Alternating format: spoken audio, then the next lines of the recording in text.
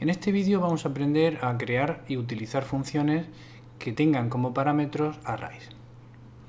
Para empezar vamos a ver este ejemplo en el que estamos utilizando tres sentencias for para mostrar el contenido de tres arrays de enteros distintos.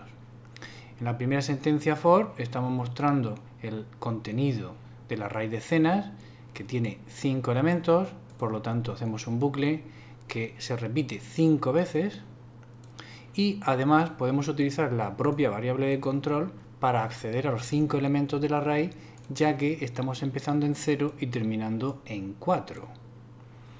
Lo mismo hacemos con el array centenas y lo mismo con el array primos. Vamos a compilarlo para ver que funciona correctamente.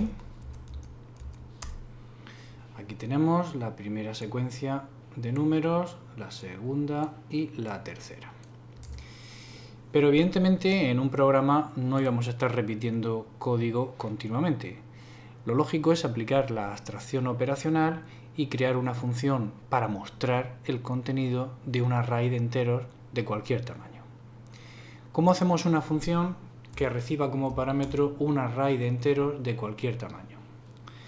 Vamos a crear la función diciendo que devuelve void puesto que esta función es de tipo procedimiento, al no devolver nada, simplemente muestra por pantalla el contenido del array.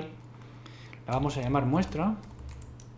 Aquí tenemos que poner los parámetros necesarios y dentro el código para recorrer el array que nos pasen como parámetro mostrando todos sus elementos. Bien, si queremos declarar un parámetro de tipo array, ponemos el tipo de los elementos que contiene, el nombre que le queremos dar al parámetro, por ejemplo, a de array, y un par de corchetes.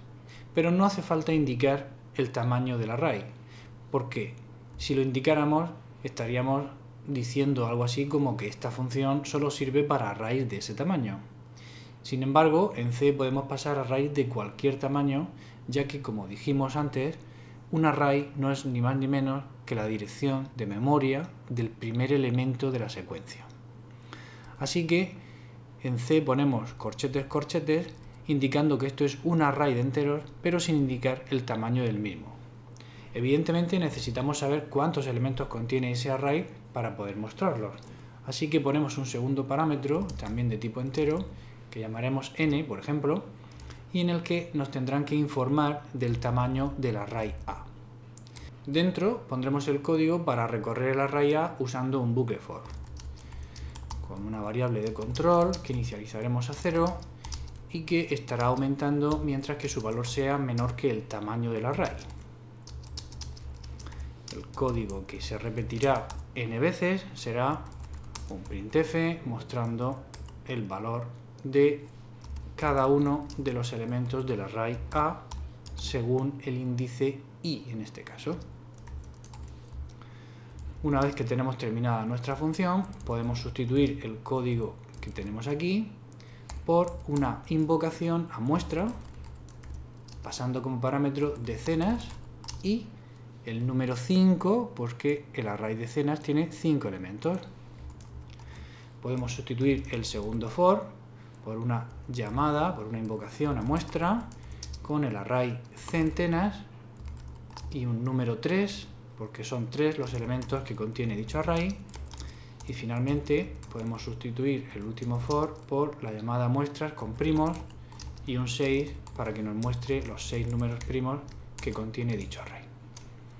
Compilamos, ejecutamos y comprobamos que tenemos lo mismo que al principio. Además de poder acceder a los elementos del array que nos pasan como parámetro, también podemos modificar sus valores. Para comprobarlo vamos a hacer una función tipo procedimiento que se encargue de poner a cero todos los elementos del array que le pasemos como parámetro. La vamos a llamar 0 y va a recibir como parámetro un array de enteros y el tamaño del mismo. Y en su código, utilizando de nuevo un bucle for, vamos a recorrer todos los elementos del array A y pondremos cada uno de ellos a 0. Escribiremos dentro del bucle for la sentencia A de i toma el valor 0.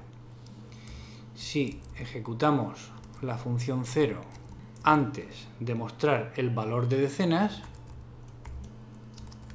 estaremos consiguiendo que el resultado sea algo distinto de lo que teníamos antes.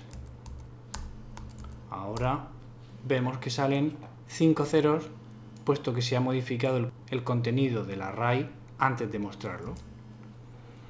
Recordemos que en C el paso de parámetros siempre es por valor, pero en el caso de los arrays el valor que se copia es el de la dirección de memoria que representa el array que se usa como argumento. Por lo tanto, aquí tenemos la dirección de memoria donde empiezan los datos del array decenas. Y es posible acceder a cada uno de esos elementos y modificarlo. Lo que no es posible es modificar el valor de la dirección de memoria del array decenas. Eso permanecerá constante, hagamos lo que hagamos con su contenido.